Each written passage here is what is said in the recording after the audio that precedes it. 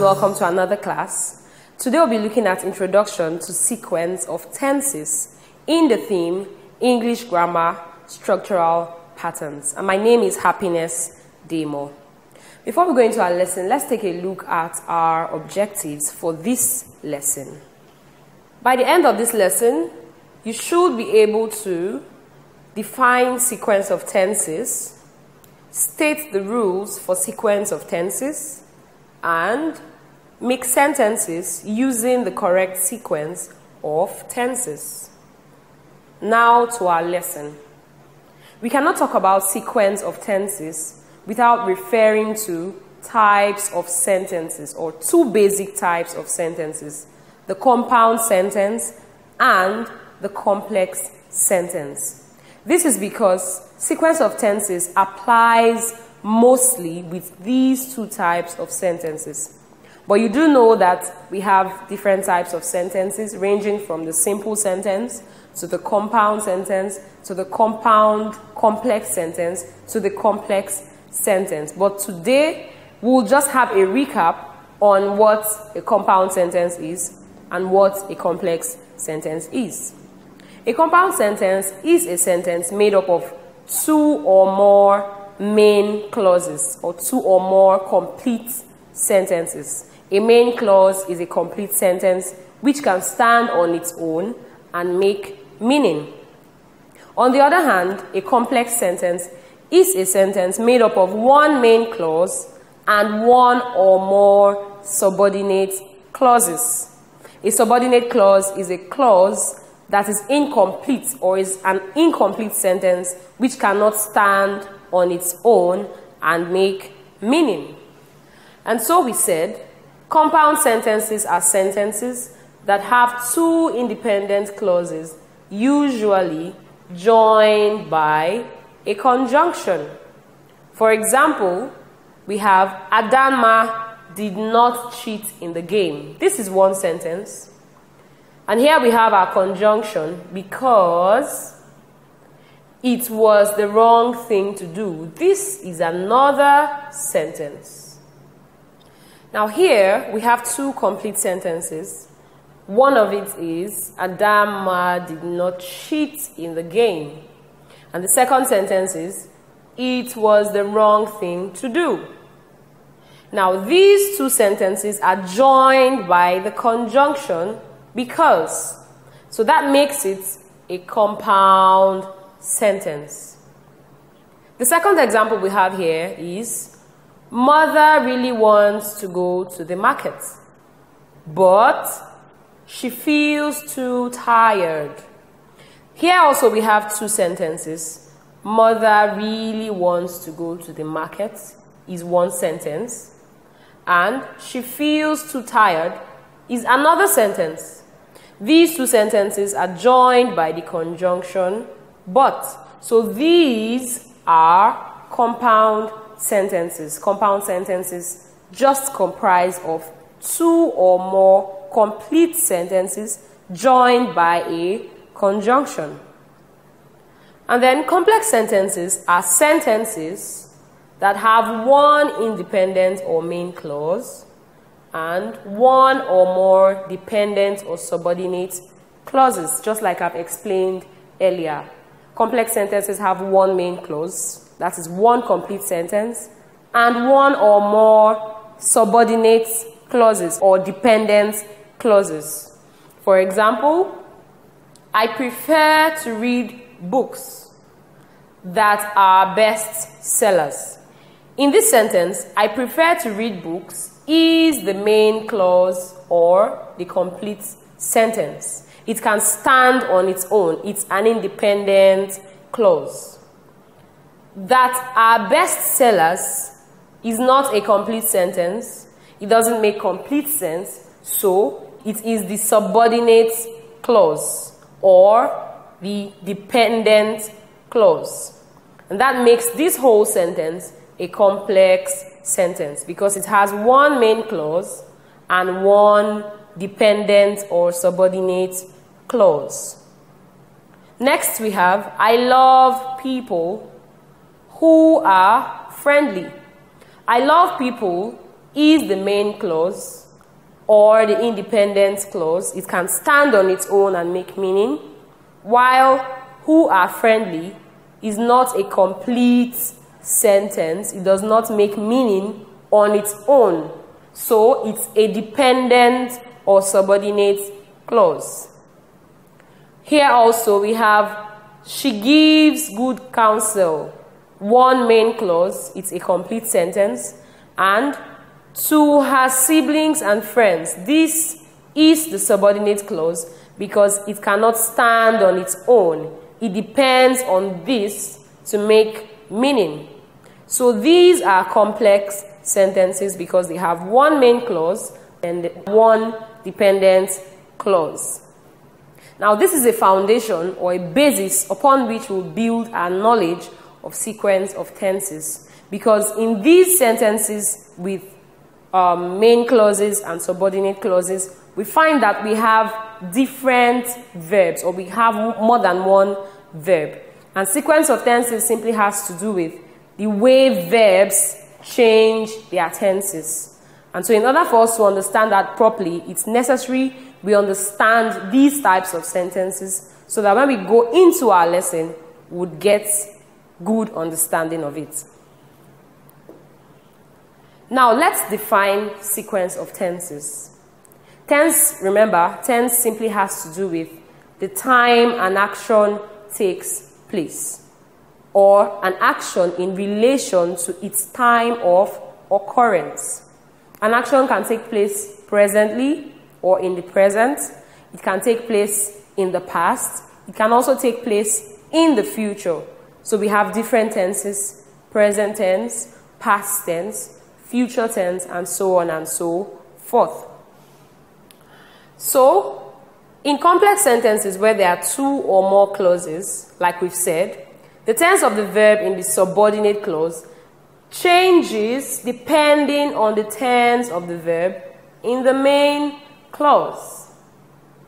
Due to the change in tenses, we have a process called sequence of tenses occurring.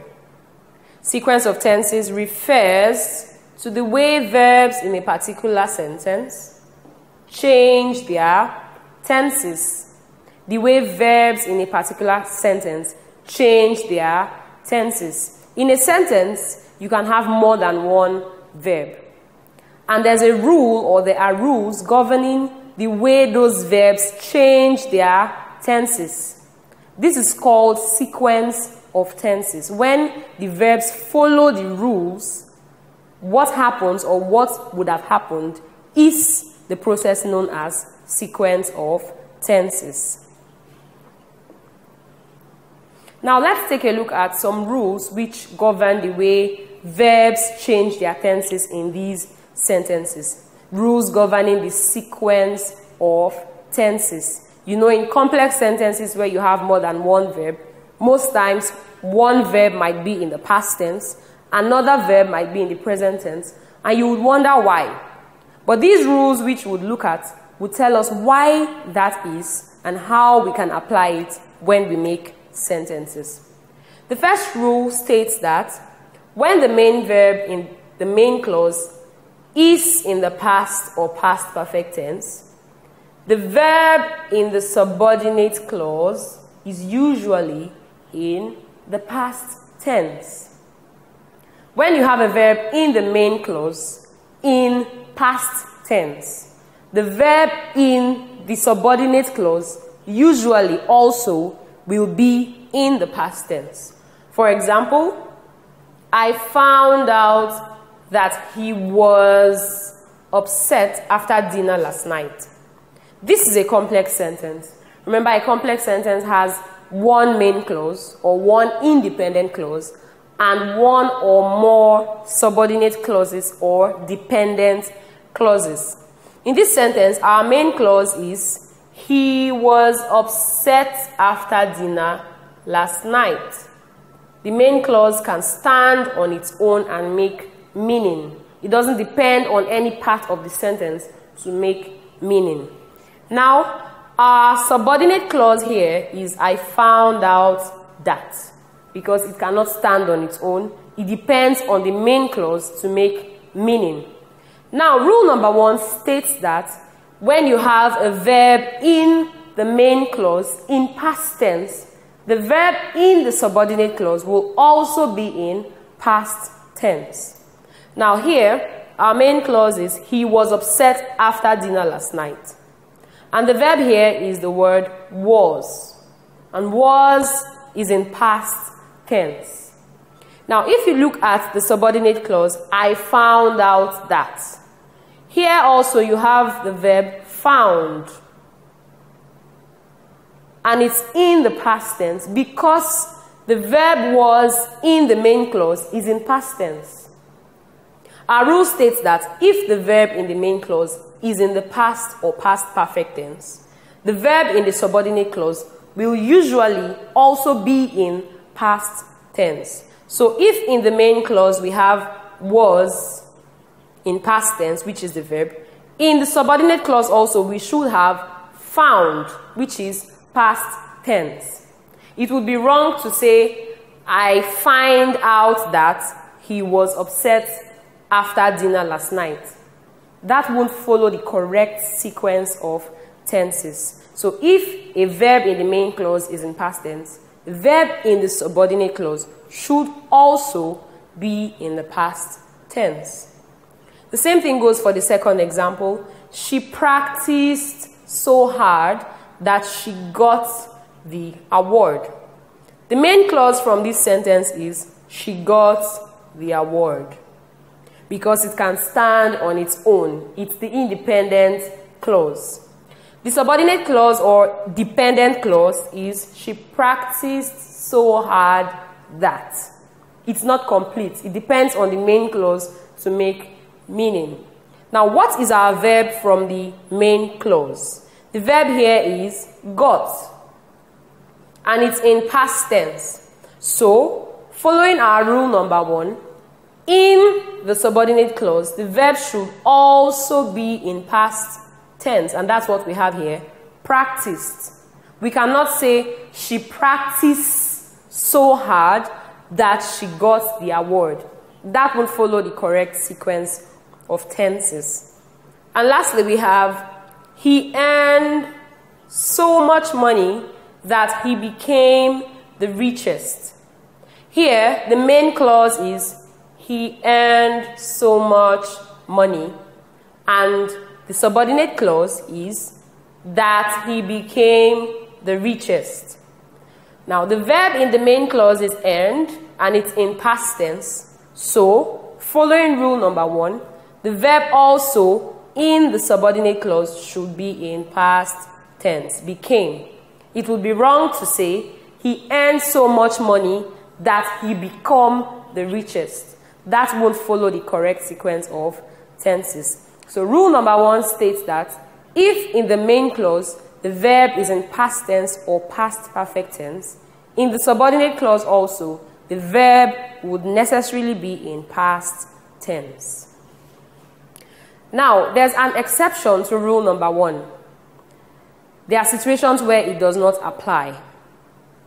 Now, when you have a main clause followed by a subordinate or dependent clause, and that dependent clause contains a universal truth.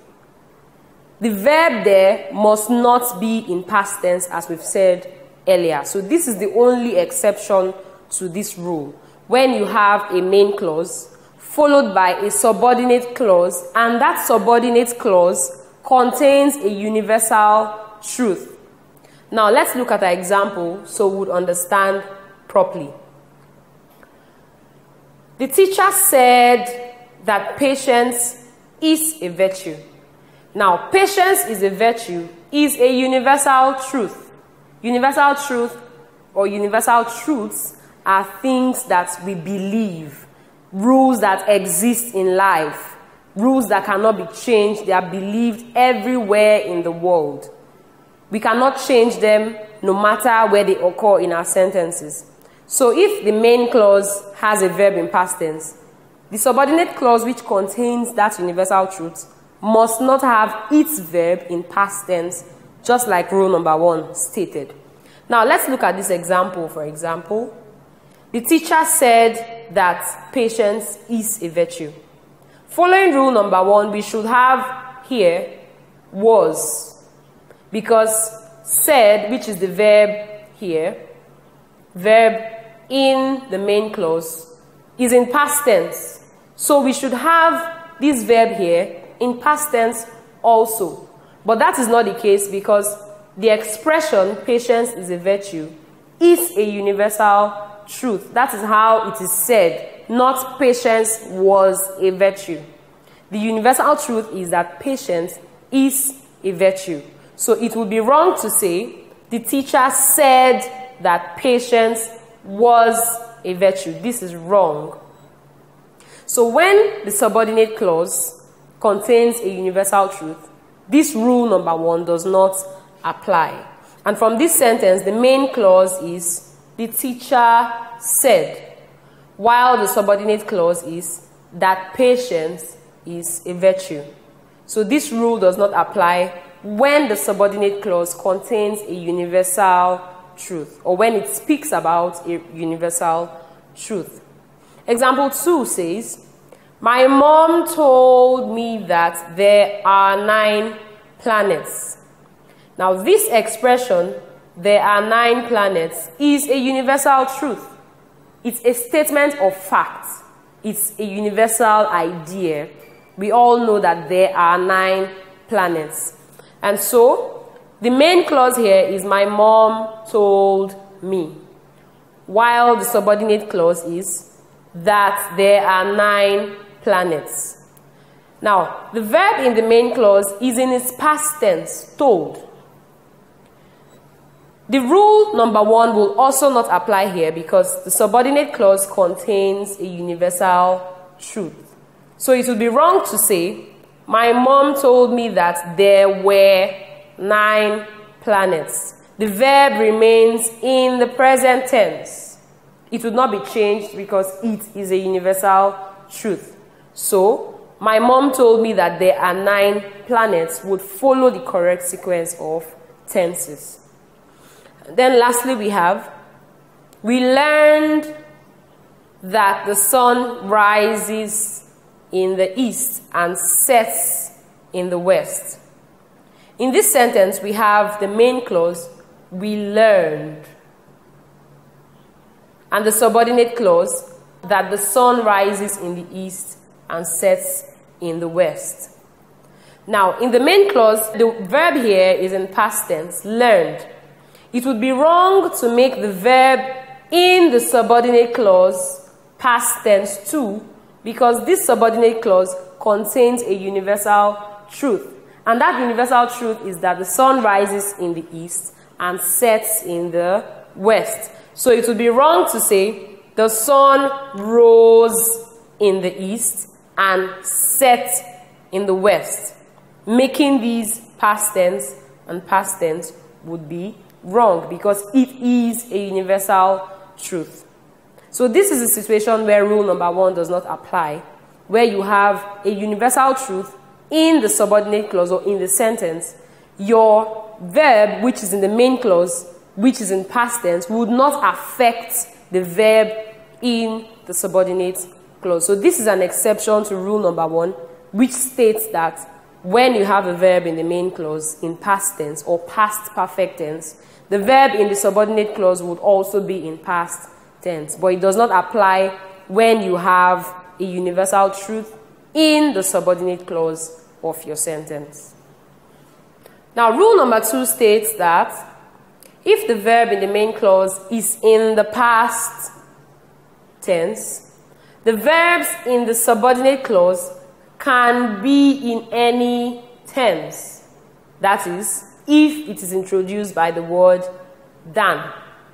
When you have a verb in the main clause in past tense, in the subordinate clause, the verb can be in any tense as long as that subordinate clause is introduced by the word than. Now let's look at our examples. She taught English language better than she teaches literature in English. Now we said the verb in the subordinate clause can be in any tense, whether present tense, past tense, or future tense, as long as it is followed by or as long as it is introduced by the word than.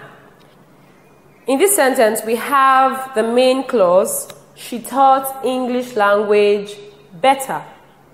And the subordinate clause, than she teaches literature in English. Now, here in the main clause, we have the verb taught. And taught is in past tense. Remember, rule number two says if the verb in the main clause is in past tense, it can be in any tense. The verb in the subordinate clause can be in any tense at all, as long as it is introduced by the word than. So the subordinate clause here has the verb teaches. And teaches is present tense. So we have she taught English language better than she teaches literature in English. So here, the verb in the subordinate clause is in present tense. Now, if you look at the second example, still using the same sentence, we have she taught English language better than she taught literature in English. Here, the verb in the subordinate clause is in its past tense.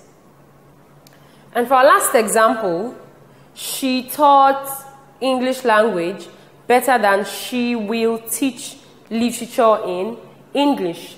Here, we find that the verb in the subordinate clause is in its future tense. So we find the rule, rule number two, applying in these sentences. And the rule states that when you have the verb in the main clause in past tense, the verbs in the subordinate clause can be in any tense at all. So in number one, we have teaches in present tense, we have taught in past tense, we have will teach in future tense. They all have the verb in the main clause in past tense. And this was possible because the subordinate clause is introduced by the word than. So when the subordinate clause is not introduced by the word than, these rules will not apply. We'll have to go back to rule number one, which states that the past tense of the verb in the main clause makes the verb in the subordinate clause past tense also. Now, rule number three states that when the verb in the main clause is in present or future tense, the verb in the subordinate clause can be in any tense, either past tense, present tense, or future tense. When the main clause contains a verb in present or future tense, the verbs in the subordinate clause can be either in the present tense, in the past tense, or in the future tense, depending on what the speaker intends or the meaning he intends to pass on to his listeners. For example, we have the sentence Belema says that she won the race. Now, in this sentence, the main clause is Belema says. And the subordinate clause is that she won the race. Now, says is a present tense verb. And we have here the verb won in past tense.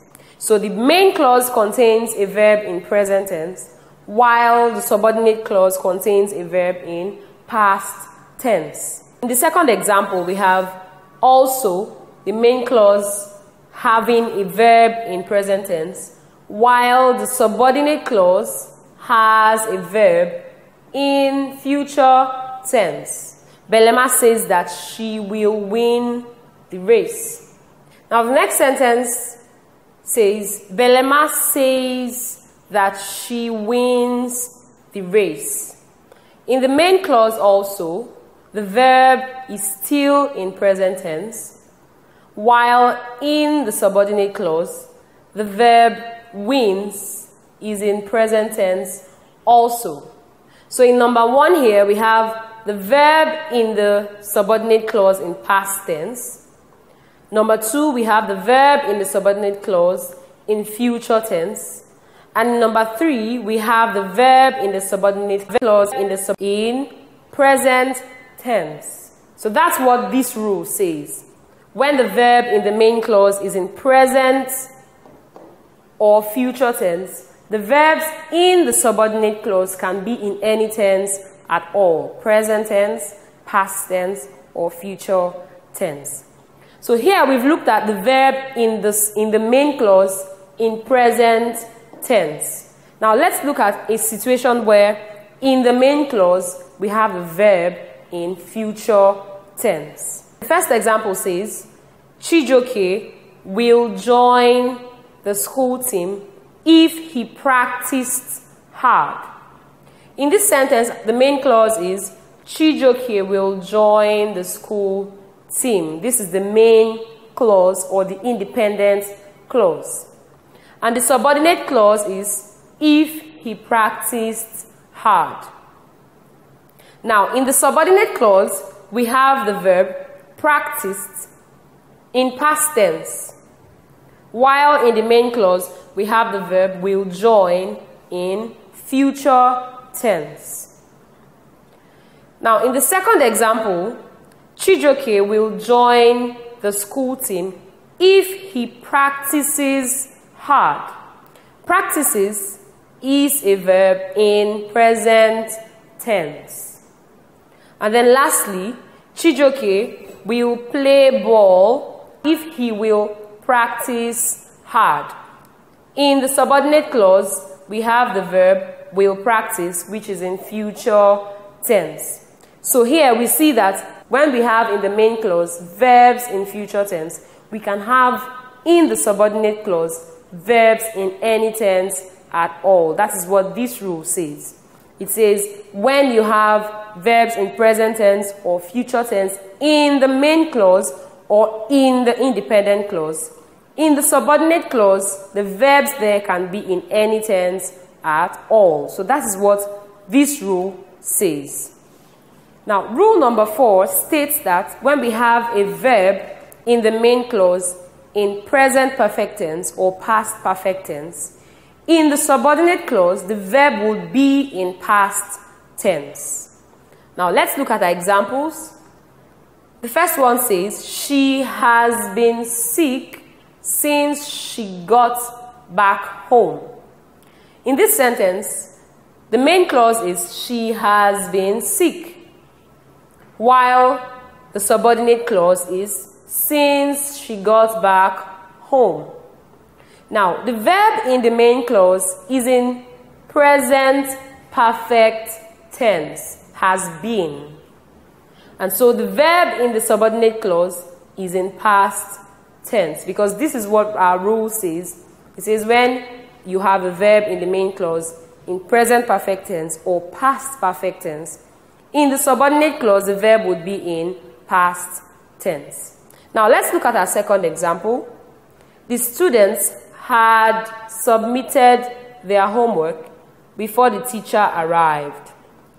In this sentence, the main clause is the students had submitted their homework, while the subordinate clause is before the teacher arrived. Now, in the main clause, we find the verb had submitted in past perfect tense. And according to rule number four, which says when a verb in the main clause is in present perfect or past perfect tense, the verb in the subordinate clause would be in past tense. So we have here the verb arrived in past tense in the subordinate clause. So when we have here present perfect tense in the main clause, would have past tense in the subordinate clause, while when we have past perfect tense in the main clause, would also have past tense in the subordinate clause. So that's what rule number four says. When the main clause has a verb in present perfect or past perfect tense, the subordinate or dependent clause would have its verb in past tense. Now, rule number five says when the verb in the main clause is in the future perfect tense, the verb in the subordinate clause should be in present tense or present perfect tense.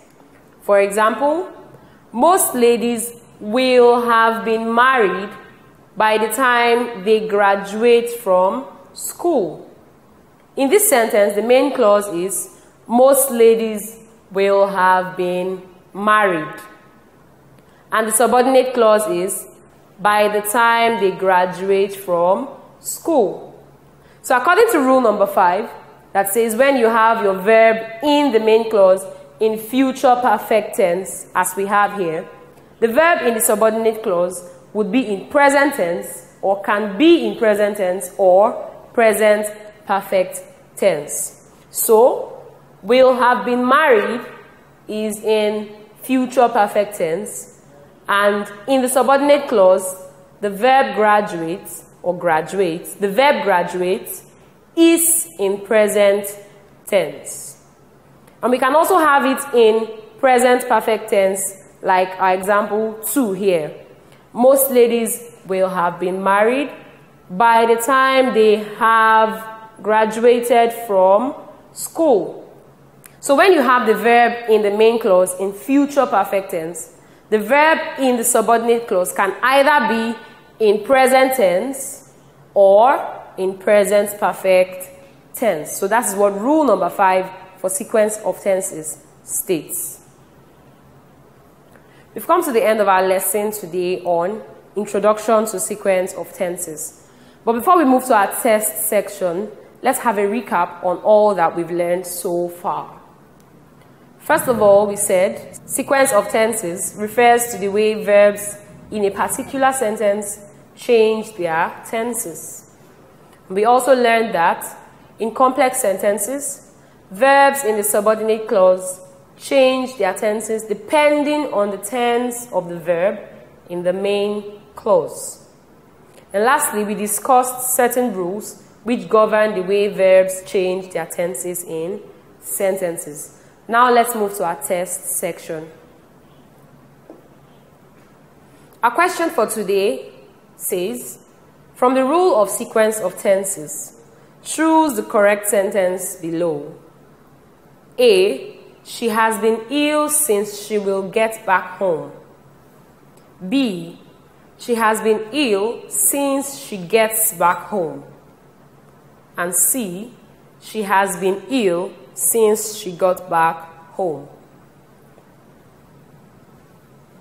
The correct answer is C. She has been ill since she got back home. Remember one of our rules, we said that when you have a verb or when you have your verb in the main clause in present perfect tense, the verb in the subordinate clause would be in past tense. And from this sentence here, the main clause is she has been ill, and the subordinate clause is since she got back home. And the verb in the main clause is has been, which is in present perfect tense. And so the verb in the subordinate clause has to be in past tense, according to the rule which we stated earlier. So if you picked C, you are correct. We've come to the end of our lesson today on sequence of tenses. Thank you for watching and see you next time. If you enjoyed this video, hit the like button, drop a comment, and subscribe to our channel. You can also turn on notifications to stay updated on new videos on this channel. This Brain Friend video was brought to you by SynForest. For more of these amazing e-learning videos, get your copy of Brain Friend with more than a thousand e-learning videos, over 74,000 test items in more than 40 subjects, a career counseling guide, and many other amazing features, BrainFriend remains your foremost e-learning and exam preparatory software. BrainFriend. Learn better, make excellent grades.